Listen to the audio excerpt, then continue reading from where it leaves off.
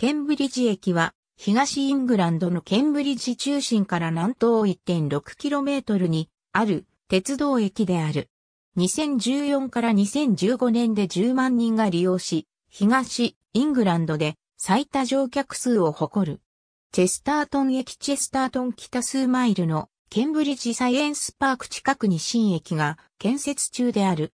キングズカレッジ州議会の公式発表によると、フェンラインの側線設置し、ケンブリッジシャー州案内バスやパークライド、地元のステージコーチバス事業者などと連携予定である。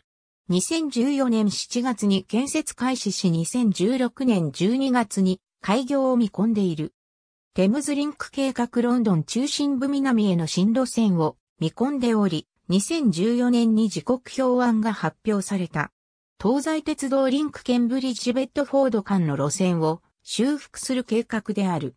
2015年7月にヒッチンかサンディの2路線を算定中と公表した。最短で2019年開業見込みである。